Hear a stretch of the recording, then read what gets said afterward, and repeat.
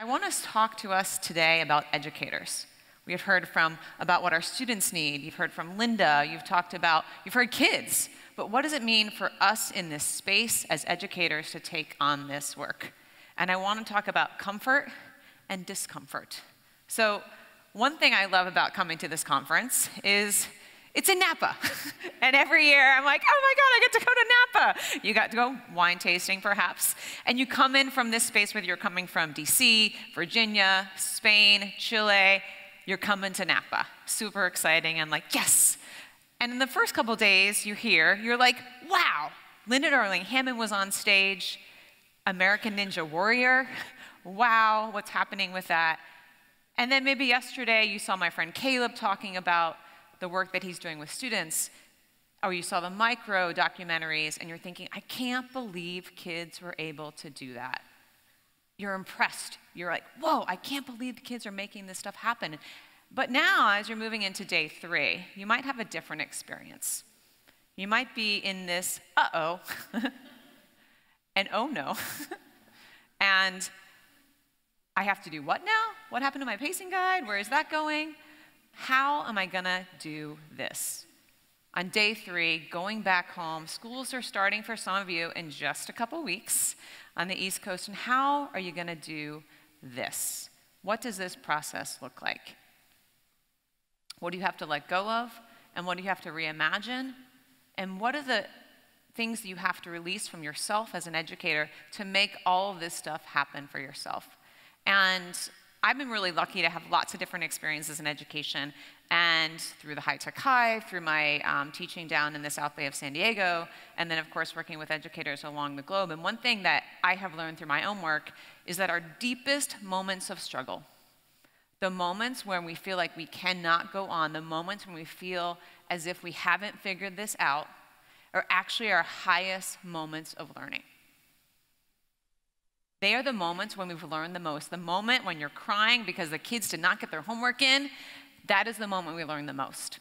And so, what I would thought I would talk today about is not just how great PBL, because I know it is. I want to talk about what is the struggle, the productive struggle that all of us need to go through alongside of our students in order to embrace the ambiguity of becoming a project based teacher. And so, in design, we call this the design squiggle. It looks a lot like this. it's this ever-flowing, abstract idea of how does this work up and down, the peaks and the valleys within this. And we call this the squiggle. Sometimes we define it as this.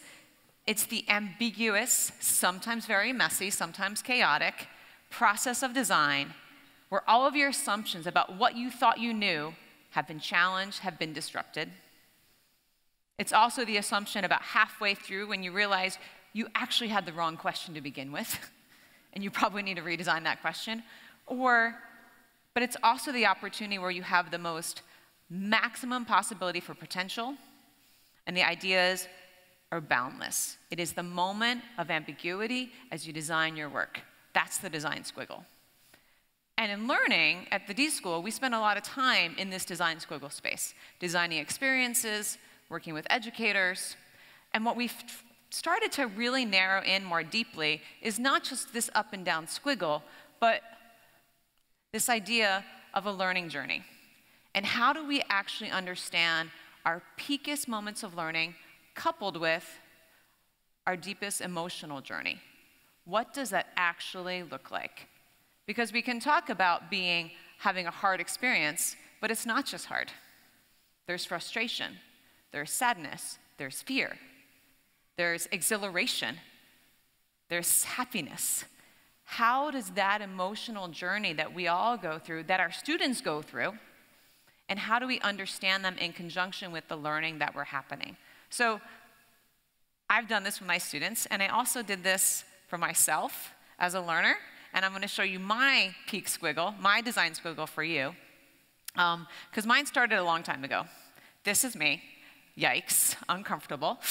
this is, uh, I've never shown this picture publicly. Uh, it's the first time I've ever done this. I think it was on Facebook a long time ago, and I think I hid it on my Facebook profile. Um, but this is my eighth grade self. And for some of you, um, I have a few friends in this room, but uh, some of you may not know, but when I was a young child, I really struggled in school. And it's not that I didn't like school, but I also, when I was a younger student, I had an auditory processing disorder, which means it was really hard for me to read. I struggled with language. I couldn't say my name. My name, I used to call my name Wawa because I couldn't pronounce my L's. My brother was Yami instead of Jamie. My grunch was not a lunch. Um, and so when I went into elementary school, I struggled. I had pull out where I would sit for an hour or two with the workbooks, making sure I could learn how to read. But that whole experience, for those of you who've had that experience, the stigma, it made me feel stupid. I felt like I wasn't really smart enough. My friends were going out having fun in PE, and I'm doing a workbook. And that took a lot of processing for me. And I remember in grade six, my English teacher had this opportunity. She had a moment. And in my school, we had an opportunity to take extended reading classes where you could take more reading, about two to three hours, for kids who were really struggling. Or I could take Spanish. And in some moment of exhilaration, inspiration, who knows what, she said, maybe Laura should take Spanish. And I did. And it was in that moment, the productive struggle of learning Spanish is where I actually learned English. I actually learned how English grammar functioned. I learned past preterite, conditional. I learned how sentences were formed. And I actually was pretty good at it. I'm a Spanish speaker now. I have a minor in Spanish. I travel the country. I've given keynotes in Spanish. Yeah, habla español. Um, but I struggled, right? That doesn't mean it was easy the whole time. But that was my deepest learning moment because it transformed who I thought I was into something more, right? Those are the moments we're talking about. It was hard. It was struggling. I thought I couldn't do it. And it took me a long time to get my, my R's, right? To make that uh, yeah, you know that word. It took me a long time to figure that out. But that was my biggest learning. So when I became a teacher, I also found it was really hard, right? And for everybody who knows, when your first year of teaching is really challenging. And I remember my first day of teaching. I was teaching in the South Bay of San Diego. It's about 10 minutes from the border of Mexico. And I have students that cross the border every day to come to school. And like many of you who've been first year teachers in a big comprehensive high school, they do this really brilliant thing where they give first year teachers four different preps. right? So, and because I wasn't a traditional teacher, I came in in January. I was ready to go. And I was the fourth teacher my student had had that year. So by the time they got to me, they were like, well, when's she leaving? She's out.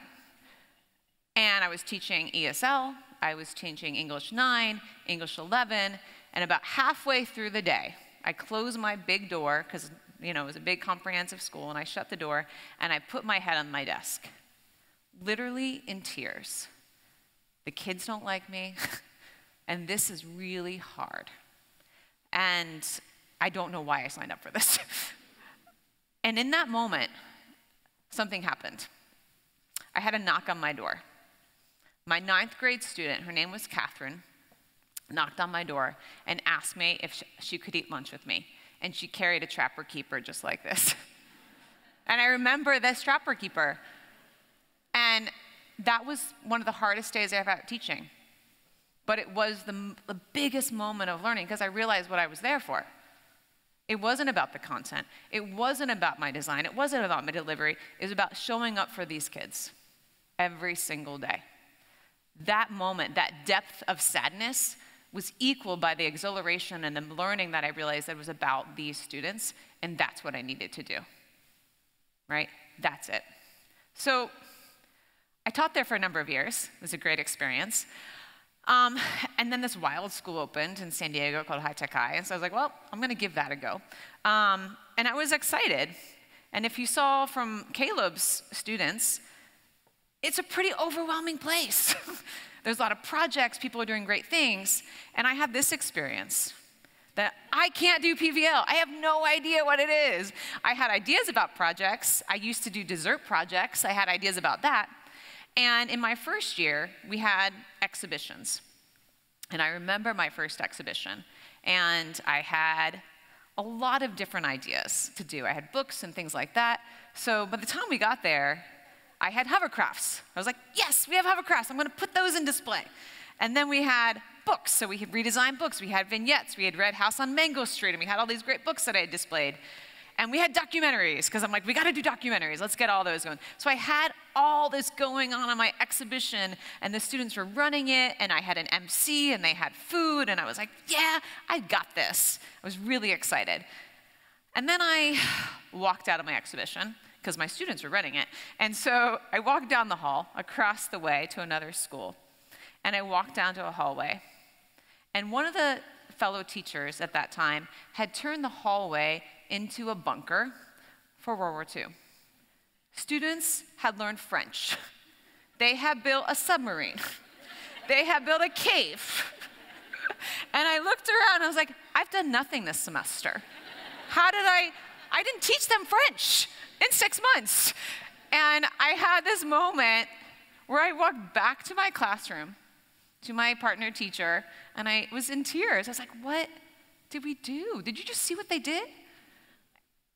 And in that moment, same experience. I had this moment of learning because I realized that the learning was the exhibition, right? I can't skip this.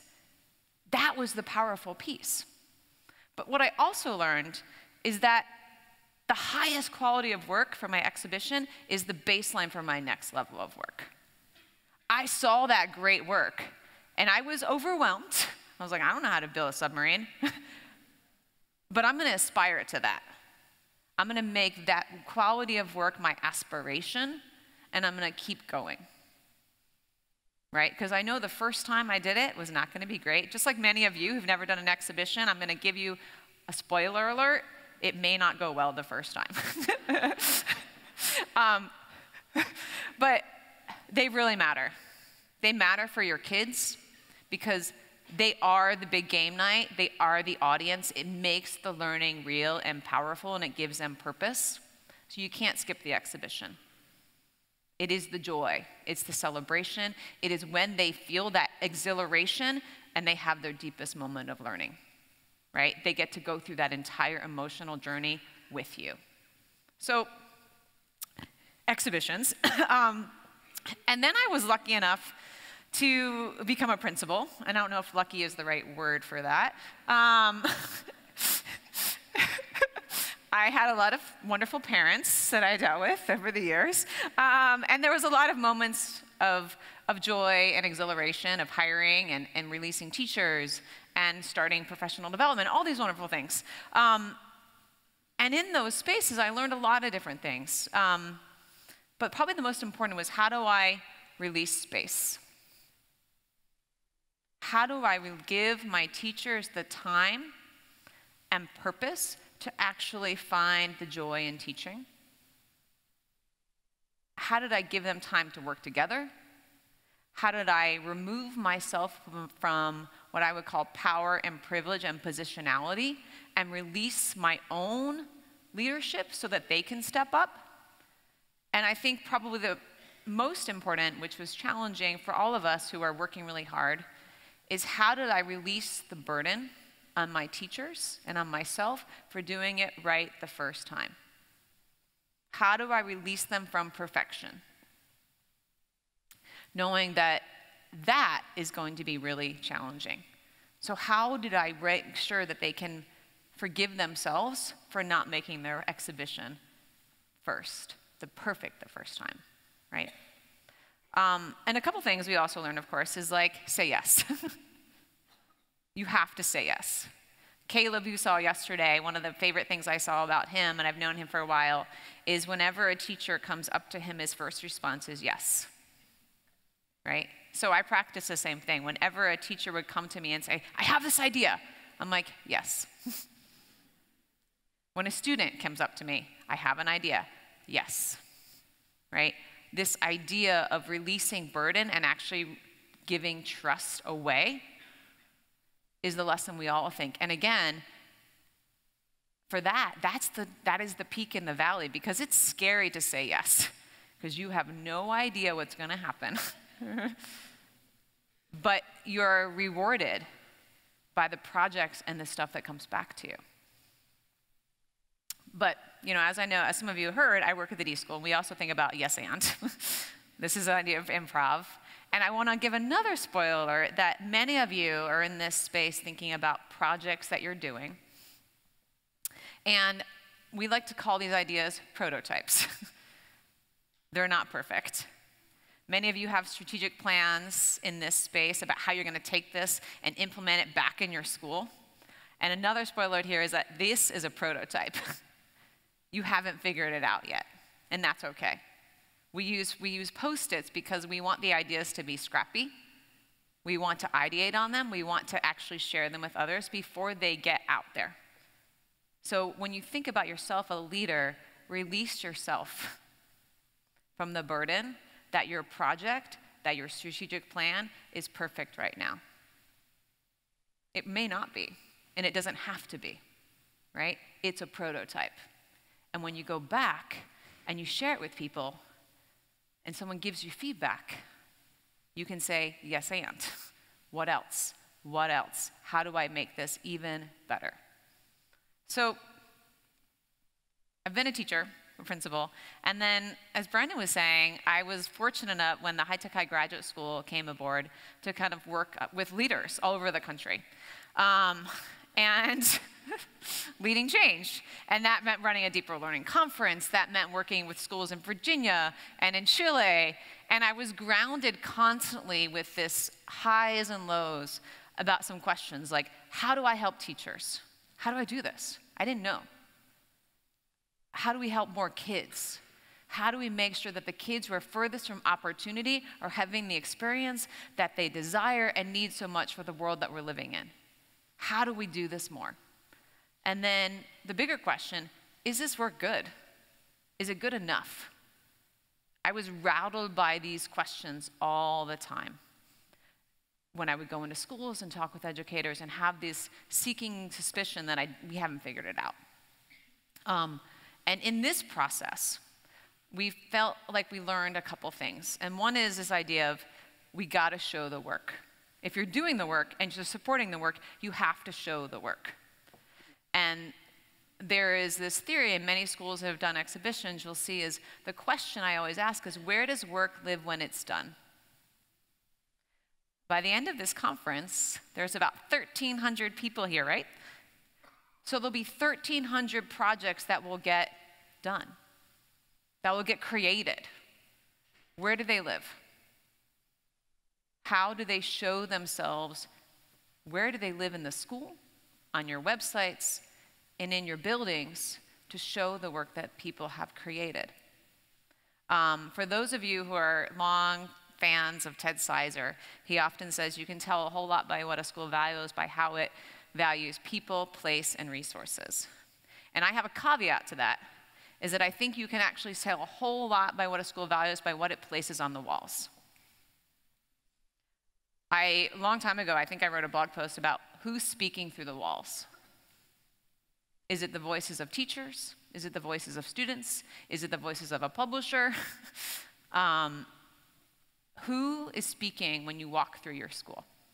When you think about your classroom right now, what voice is being heard on the walls? And so I've been lucky to think about a lot of teachers around the country and on the world who are thinking about how do they make this transparent so that people see the pedagogical values of the school as soon as they walk in. Right? They want it to be displayed, they want it to be visual. So in Australia, you see this is an Art Deco project that covered a classroom wall because this teacher was inspired by this. A different teacher decided to take all these, I think these are pilings or big movements, and turn it into a, a geometry project covered every single, I think, support structure within the hallways into a geometry project. When this was done, they realized it wasn't enough and took all of the big tables and did geometry on top of those so that every classroom had a geometry when you walked in. It's transparent in the spaces that they provided. Another friend of mine walked around their school in Chile. Their friends are here from Nido de Aguila School. they decided to transform their open space to how the voices of the students speak to them. Inspirational thoughts. Anywhere you walked into this school, you would find crevices and caveats of student work just when students were walking around. Created by kids for kids. In Spain, the nuns did another step further. Not only did they show the work, but they have a process board. This is their wonderings about project based learning, their questions, their theories about what this might be. In Georgia, people are transforming their walls and making them into a history timeline. In Virginia, our friends are thinking about how do students become experts and showcasing this. In Chicago, my friends at ChiTech were taking walls and transforming them into a music organ that students interact with and they're walking through the building. What I love about this project even now is you see young students who are not who to do this project playing the organ and learning how sound waves operate. In Kentucky, they transform the opening space to a rotating canvas where people can display work constantly. So when we're thinking about this work, where does the work live when it's done? How do you use the space in your school to show not just the best work, but all the work that students are creating? Not the perfect work, but the imperfect work that shows what your school values around the visions that you're creating with your kids. This is what you see. You see happiness, right? And you see the work that comes through. So, my journey's not over, and my talk is just about over, um, is that I'm not quite done yet. I work now at the Stanford Design School, and I've been in about six or seven months, and I still don't know quite what we're doing. um, we're still figuring it out. But one thing's for sure is that we're gonna have these peaks and valleys. I know a little bit about this design process, probably more than I think, about how do you empathize and define and think about how do we test ideas.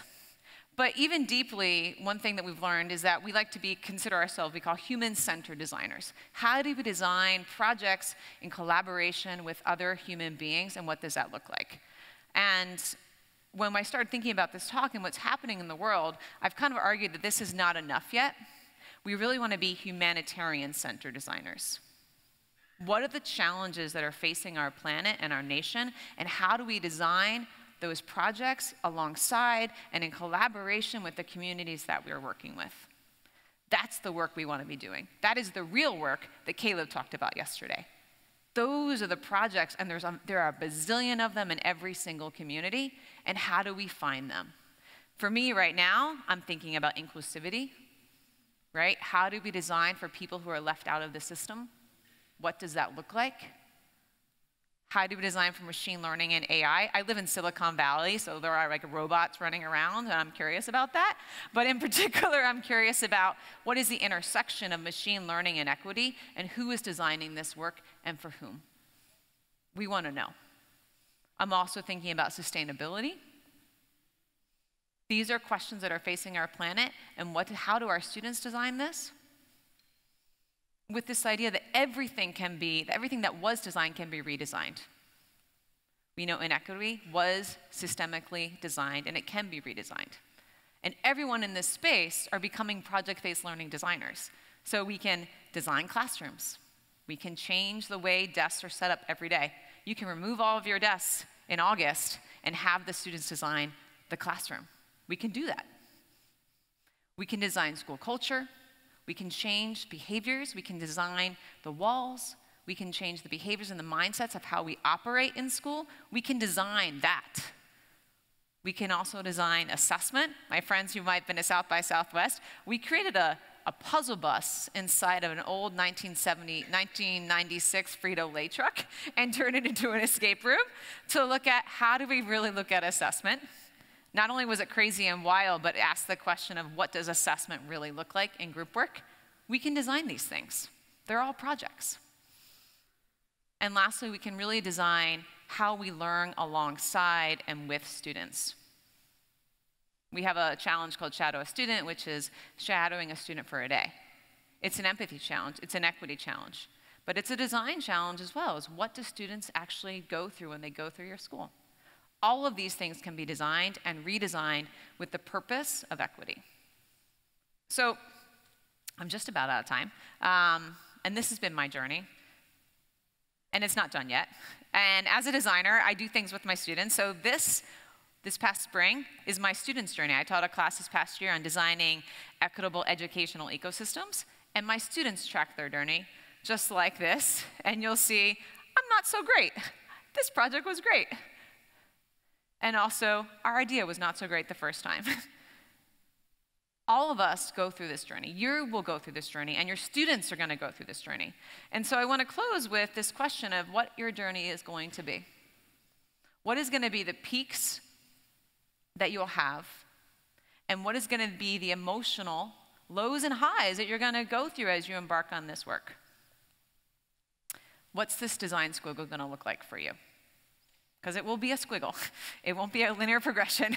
And how are you going to embrace that and celebrate that and support yourselves in those places. And what's the purpose that's going to sustain you? My purpose has always been thinking about students, being an advocate for them, and thinking about social justice and equity. But what's your purpose? So, do I have like two minutes, Bob? All right. So, as a practice person, I'm really interested in reflection. So, I'm going to give you two minutes to turn to somebody next to you, and I want you to think about your last two days? Has there been a moment where you've learned something pretty deep that challenged your thinking? And what was your emotional response to it? So think now, the last two days, what, where was a moment that you learned something pretty profound, challenging, disruptive? And how did you emotionally respond to it? How did it make you feel? Start now. Turn to somebody next to you.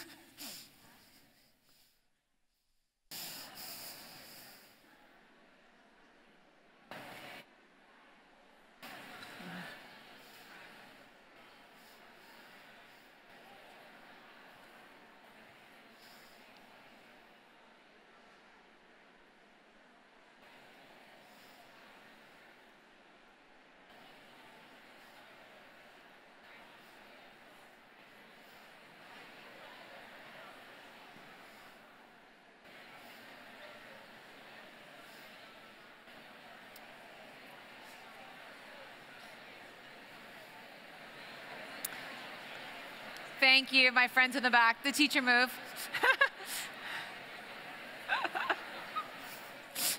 I was a middle school principal, so I do know how to do the clap once, but we won't do that. Um, this is your journey. It's starting right now at, at PBL World as you go back. Um, at the D School, we talk about a bias toward action, a bias toward prototyping. Start now. And I also think we need to re, it's a yes and, is that we also need to have a bias toward reflection because it is the metacognition of the moments that actually make the learning palpable, and that's why you remember them. And so, as you kind of close up and you think about where you're going to go, I want to close with this final quote from Maxine Greene. Um, and I'll read it for you for those in the back, it's hard to read. But she says, For me, and I'm, and I'm sure for most of you, to be human is to be always in the process of becoming, to be in quest of openings, of possibilities, always. We are always becoming something. Our students are on a journey and a trajectory, and everyone in this room is on a journey to become something different than when they already showed up. You've learned something. You're all project based learning teachers. You're in the process of becoming a new type of teacher, a different type of teacher. And so, my closing words to you is these, you are becoming something different. And how are you going to continue to celebrate yourself honoring those peaks and those valleys that you're going to go through, and then empathizing with your students who are going through the exact same thing. Everything that you learn and the moments that you've had, they're experiencing them just now. Every single day when they show up to school, they are in constant flow of that design squiggle. And so, how do you actually share your learning, your struggles with them, that's what it means to be a project based teacher. It means giving up and relinquishing control, but also sharing your fears and your struggles alongside of your students so that you can actually grow together. So, thank you. And that's it. Thank you. Thanks. Thank you. Thanks, buddy. Oh, yeah. thanks. ah, thanks. I'll give that. Ah, thanks.